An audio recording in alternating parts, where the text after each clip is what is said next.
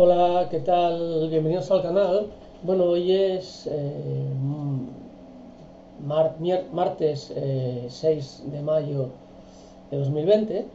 Tenéis aquí, bueno, pues eh, la madre del cordero, ¿no? Eh, el BOE de- del sábado 2 de mayo del 2020. Algo que resultó eh, muy tuiteado y retuiteado porque se permitía a, a los ocupas el inscribirse en, sus domicilios y las cuevas y las cavernas y todo tipo de infraviviendas para tener unas paguitas eh, con cargo a, la colaboración de todos los españoles. Yo, eh, antes de nada, quiero decir que cuando vi estos, estes, estes, eh, pues, informaciones en, en di- en diferentes diarios, pero bueno, los tweets y demás, siempre pues pensar que si se ponen de una parte u otra están interesados, ¿no? Pero cuando ves en medios de información dices, hostia, cuidado, que esto puede ser peligroso, pero luego, eh, claro, uno ya antropólogo y, investigador y también, bueno, pues eh, la economía influye mucho en estas cosas y no podemos lanzarnos a lo bestia. Entonces,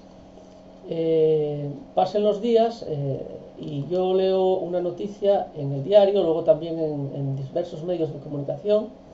y dice la falsa polémica de los ocupas, el BOE 2015 ya recogía la opción de empadronarse sin ser propietario en inquilino o en infraviviendas. Bueno, recordar que en 2015 estaba eh, don Mariano Rajoy y también esto tiene un antecedente en, creo que era 1997, cuando gobernaba don José María Aznar. Entonces, no voy a salir para abajo porque aparecen por aquí eh, distintos tweets de diferentes personas, pero bueno, podéis ver el enlace porque aparece aquí recogido, como veis y, lo podéis mirar tranquilamente. Y bueno, aquí aparecen ya tweets que no quiero pues que, se vean, porque bueno, mm, ca- cada, cuando uno mete la pata, pues debería eh, reconocerlo, ¿no? Entonces, bueno, aquí tenéis el, artículo, aquí tenéis el, BOE oficial del 2 de mayo, que yo voy a poner abajo, debajo de este vídeo, eh, pues para que podáis todos acceder. Y lo que me pregunto y algo que, que, mm, me está poniendo un poquitín nervioso, ¿no? Uno yo investigando, ya no es de la parte de la economía, sino de la parte de la antropología, pues todo lo ocurrido en el periodo anterior a la guerra civil, y me parece que hay personas eh, que están buscando otra vez algo similar, ¿no? Y medios de comunicación que están alentando estas cosas, ¿no? Y lo, lo único que podemos hacer los ciudadanos en este caso, independientemente de que vengan mm, por parte de la extrema izquierda o de la extrema derecha, eh, este tipo de, de fakes, porque son fakes y, y denunciables, eh, debería ser pues, ir a las fuentes de información, analizar y no nos liar la manta a la cabeza, ¿no? A mí una cosa que me pone, bueno, pues triste eh, y hasta cierto punto que hay personas que critiquen solo lo que hizo alguien de una parte, en una parte de la historia, por ejemplo, lo que hicieron, eh, pues, eh, lo que se hizo en los bolcheviques en, en la Unión Soviética, o lo que hizo, eh, pues, Ch- Chávez Maduro está haciendo en Venezuela ahora Maduro, o lo que pasó en Cuba, o lo que pasó en China. Y, y en cambio, pues, pues incluso, incluso algunos nieguen eh, el genocidio nazi, o que Franco no fue tan malo, o que Donald Trump ya maravilloso. Pero también me, me crispa la otra parte, ¿no? La parte que, que solo ve eh, la ida en, el ojo ajeno, ¿no? Que,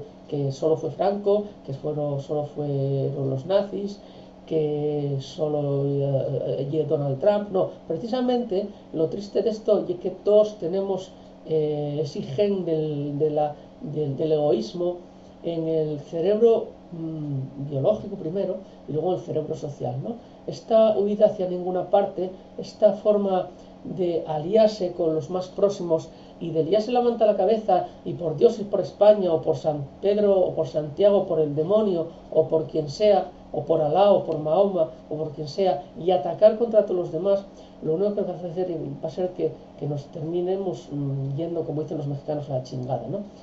Y a lo mejor había que recapacitar, había que pensar un poquito en las cosas, porque ya os digo que, que a mí me están crispando estas situaciones, estas estes, estes faltes de, de, de respeto hacia los demás, ¿no? Eh, analicemos un poquitín, veamos, y, y esto porque me parece lo más reciente, ¿no? Pero también hay otras cosas que de la misma manera pueden eh, crispar a los demás. Ni paguitas ni ocupas, ni como muchas veces se dice que, los extranjeros están siendo traídos a España para bueno, para casi colonizar, colonizar otras cosas, cuando es verdad que muchas veces necesítense, pues por ejemplo, para el tema de sacar eh, los frutos de la tierra que los españoles no los queremos sacar, ¿no? O lo que está ocurriendo, pues por ejemplo, con los autónomos o, con los pequeños comerciantes o los pequeños negocios que están viéndose entre la espada y la pared, ¿no? Luego, seamos un poquito insensatos, pensemos un poquito en las cosas antes de atacar a los demás y leamos, leamos que es lo principal. Os voy a dejar el, el BOE eh, del 2 de mayo, por si encontráis algo de, los ocupas y las paguitas, que me lo digáis. Eh, para terminar, solo deciros que todo esto que está pasando ahora, y, no es la primera vez que lo digo, eh, ya lo comentaron Karl Marx y Friedrich Engels, Carlos y Federico, en 1847-48, en un libro que se llama el manifiesto comunista, ya al mandaos leer el Capital de Marx y hay una burrada porque infumable, porque incluso muchos economistas no lo leyeron, yo a mí tocó leerlo porque mi padre lo tenía en casa y me obligó a leerlo antes de empezar a hacer económicas, cosa que yo agradezco. Pero el manifiesto comunista que está eh, bajo licencia Creative Commons porque es patrimonio de la humanidad, o sea que no puede ser algo muy, muy peligroso y muy, muy criminal, lo que se decía en él que el propio sistema capitalista iba a fagocitar al sistema y que iba a hacer que la gente menos eh, con menos posible de los más ricos y las empresas menos competitivas y como ellos dicen los rentistas, que en el fondo los rentistas y la gente que está jugando en bolsa, los que menos poderes tienen, debido al efecto del poder fagocitador del capital que está inducido siempre por aquella gente que son los que verdaderamente más tienen, va a hacer que estos eh, que os decía antes, se vayan a lo que ellos llamaban el ejército residual de reserva, que era el paro. O sea, esto y el efecto del reloj de arena. Y mientras eh, nos estamos jodiendo todos, eh, y, mientras estamos pasando mal todos, pues hay mm, distintos individuos pues metidos en la política o próximos a la política, y ojo, digo, en todo el arco parlamentario, no digo solo una parte, que están, bueno, pues solo intentando mantener su asiento y mantener su sitio en el Congreso y en el Senado y poco y os importamos los demás. Espero que os resulte interesante, como se edita siempre bajo licencia Creative Commons, podéis hacer con él lo que queráis, compartirlo, eh, comentarlo y lo que queráis. Un abrazo y hasta el siguiente.